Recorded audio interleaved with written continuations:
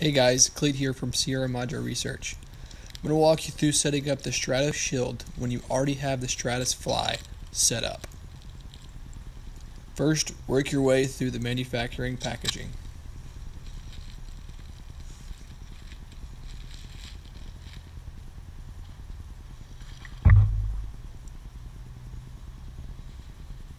Then the cinch tight stuff sack.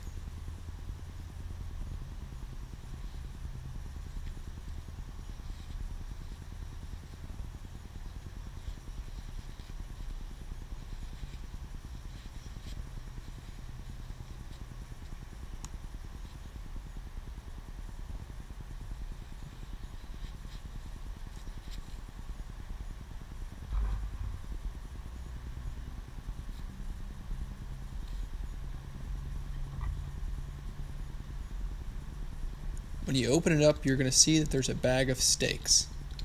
You actually don't need these when you're setting it up with a rainfly. So you can set those aside until you need to set it up when you don't already have the Stratos fly set up. You can see that in a separate video tutorial. Right now you're going to be looking for your sky hooks.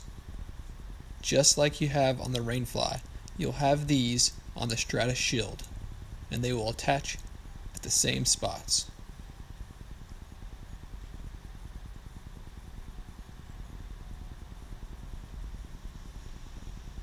They will be marked with blue hooks.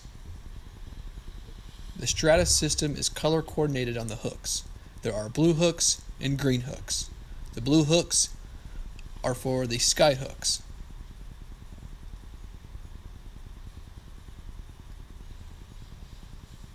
You clip and cinch tight.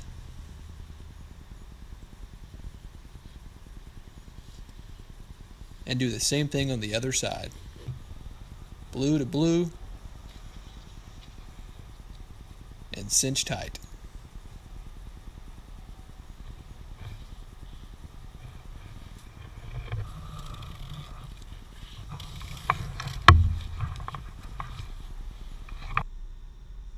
Now you're going to be begin attaching the sides. These are the green hooks, green to green. There will be two on each side. You clip and cinch tight.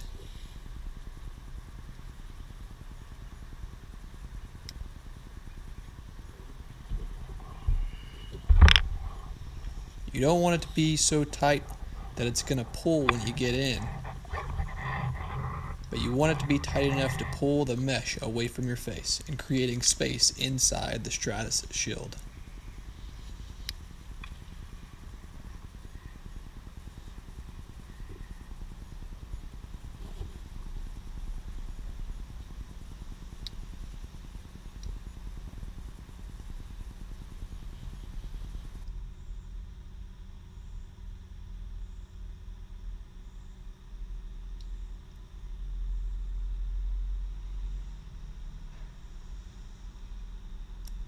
There you have it.